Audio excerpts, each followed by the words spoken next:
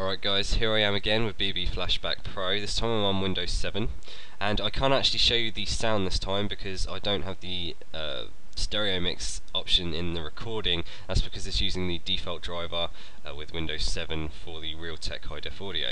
So I'm just going to record another 10 second thing here, so I'm going to use the default settings again, exactly the same settings as I used with uh, Windows XP. I've got 14 frames a second, same as the other one more options, no that's not worry, and full screen. Alright, so, okay, and record. Okay, this is a 10 second video using the screen capture or the recording of BB Flashback Pro. Save, and I'm going to record 10 secs like I did the other one on the desktop. Save, play.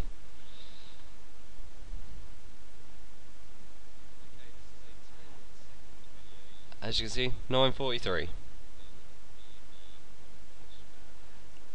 and you probably didn't hear the sound for that but it is absolutely perfect. There's no cutting off anywhere.